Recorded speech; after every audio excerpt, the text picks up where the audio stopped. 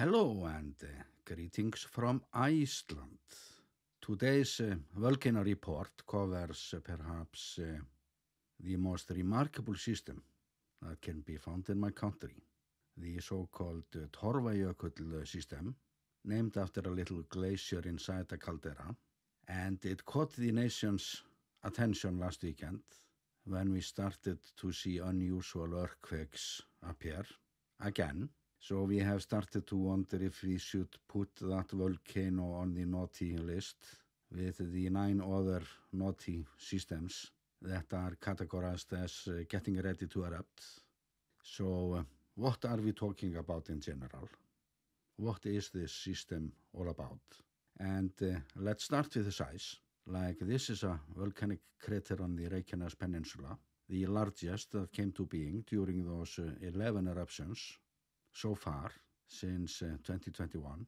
And it takes us around 10 minutes to climb it. But this time lapse, that a shot from my car last summer while driving into the center of the Torfajökull caldera, shows that uh, we have something else there. It's not just big, it's huge. And uh, how naughty can it get? When ground uplift started in the caldera in 2023, I did a trip up there on my old Honda, the last mountain trip that uh, it would ever see. Or one of the reasons why I got myself a Land Cruiser that I used last summer and I got way better light than in 2023 and my job is not over there. This is nothing that I can do in one afternoon like I tried uh, last summer because this is perhaps one of the largest candy store in the world for photographers, hikers and of course geologists. And this is also the home of the famous Laugavegur hiking trail and it's uh, hard to find words to describe this landscape. So the time lapse, it can also be found on my channel in a normal speed. I'm linking to that video and I'm also linking to a 360 drone tour over the caldera. So uh, I have gathered a lot of footage from here already, but uh, of course going back when the road opens, uh, hopefully in June. And scientists uh, didn't realize that this was indeed a large caldera until just a few decades ago when aerial and uh, satellite images started to show the outlines. And it's very hard to imagine what happened here throughout history. So as for uh, documenting this, I ran into the same problems as often before. Problems with even basic questions like, uh, is this the largest volcano in Iceland? And it is a bit awkward how the science community can't even be clear about such basics. It is not my job to handpick scientific views when it comes to questions like that. But it is, however, my job to tell you if there are any discrepancies between uh, sources, which is the case now. I even found a scientist claiming that this is indeed Iceland's hotspot above the mantle plume. But according to uh, all sources about Iceland, it is the volcano Bárðarbunga. So uh, this area alone can uh, provide me with plenty of material for a documentary. And a volcano update like this will only cover some of the basics. But uh, Professor Þorvaldur Þorðarsson, that I often quote on my channel, he is saying that this is the largest volcano in Iceland.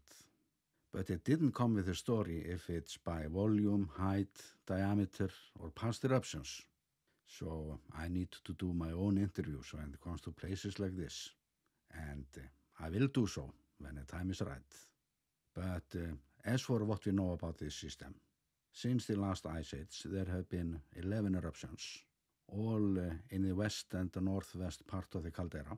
But the most interesting bit is that the enormous Bárðarbunga system seems to have taken control over the Torfajökull system, where it literally stretches uh, into that system from the northeast. So simultaneous eruptions in the Bárðarbunga and Torfajökull systems have occurred uh, at least six times, and twice since Iceland was settled 1100 years ago.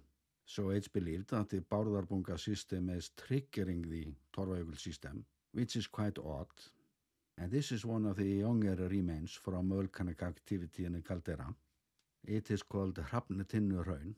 The eruption behind this produced uh, hybrid lava or this mechanically mixed blend of rhyolite and basalt.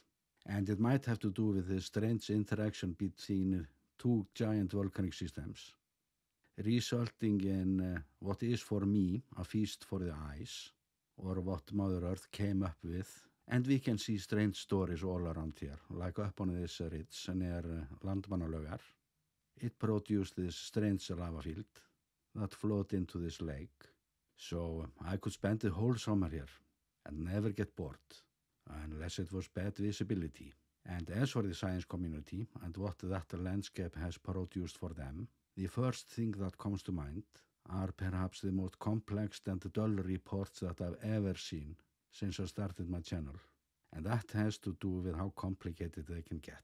But also a good example of how I look at my channel into the future, go into documentaries, because scientists have the tendency to leave many of us behind when it comes to complexity. So I see myself uh, in the future taking care of the questions when it comes to areas like this, making sure that uh, the answers uh, stay as simple as possible. So we can all get some basic understanding while looking at landscapes like this. Because my videos are in general meant for us who don't know it all but wish we knew more when we see landscape like this. And the uh, Torfajökull caldera, it has more secrets. Iceland's largest hot spring area, 150 square kilometers. And the earthquakes last weekend, they might have to do with changes in perhaps some of the geothermal pipelines there. And that is quite normal. But it was ground uplift that caused the 2023 earthquakes. So it was something more at work back then. And one of my questions that I have about this is uh, could it be that the ongoing unrest in Bárðarbunga is putting some pressure on this system like it's known to do, even causing uh, eruptions that uh, is responsible for landscape like this. And Bárðarbunga has been acting very suspicious lately. And uh, it's not a subject of debate if it's gearing up for something. It is. But we have another element at work as well, like uh, this is the volcano Hekla seen from the caldera. And nearby Hekla, we have yet another system called the Vatnafjöll system.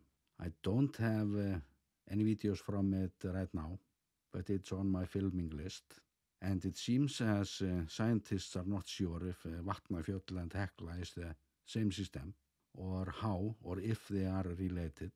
But the Vatnafjöll system has, however, triggered the Torfajökull caldera to uh, erupt. So the Torfajökull caldera seems to be the uh, senior citizen here, getting lazy. But uh, when the younger systems uh, poke into it, it farts every now and then. And it's actually hard to find information about this Vatnafjöll system. But it caught our attention in 2021 when a magnitude 5.2 struck there and again in 2023 with a magnitude 3.5. Those earthquakes were likely tectonic, since this is at the northeast end of the South Iceland fracture zone, but uh, at least you know that this system is not dead, and uh, let's move back to the Torfajökull caldera. Major eruptions there seem to occur every 5-600 years, and since the last such eruption was over 500 years ago, we can easily assume that uh, this system could be due for uh, another event and uh, those events are major events. And the consequences, would it be a basalt eruption or rhyolite that can get extremely explosive and during the last such eruption it produced enough ash to uh, cover our entire island. So major events like that would cause problems for sure. In fact, the more I read about this uh, system, the less I feel as I know about it. But it is for sure the largest caldera that is not filled with ice. We only have this little glacier in it that is slowly but surely melting away. And to have a caldera of this size is what makes this uh, landscape so interesting and untouched. It doesn't matter if we are outside the caldera, inside it, on the rims. There are no words to describe this place. So what I've been doing there so far is nothing more than just to uh, film the places of interest where I need to do a more detailed tours later. And as for the big picture, the location of this caldera, we are midst in this cluster of volcanoes, the largest systems, the hotspot of volcanism in Iceland, where all the major systems are almost overlapping each other, and it's often hard to understand where one system starts and the next one takes over, but that doesn't matter because the landscape is always out of this world. And I have a bad case of what we call highland sickness. I'm just thinking, uh, when will the Highland roads open this year? Because uh, it's just so much uh, to film there, and this is where uh, a lot of my most important work will take place. And only the good shots will be used. Like my first trip to the Caldera in 2023, I was using my oldest drone there. Last year I had a better drone and came back with many fine shots. But during my next trip I'm hoping to be using uh, even better equipment since uh, DJI is coming out with a new drone with uh, a even more powerful zoom lens. That might be very important because uh, this is untouched ground and the uh, geothermal areas are uh, dangerous. So what you see now is just the beginning. And this video was just a bit of a reminder telling you that uh, we have other systems than those that I have been covering the most lately. And we also have plenty of unexplored nature when it comes to modern uh, filming techniques. So um, I will of course continue to make updates from here when they are needed. But uh, I decided to do this one because uh, it was giving me chance to show you footage from last summer. It's not as we are expecting uh, this uh, caldera to erupt now, but this uh, general information package is however out there.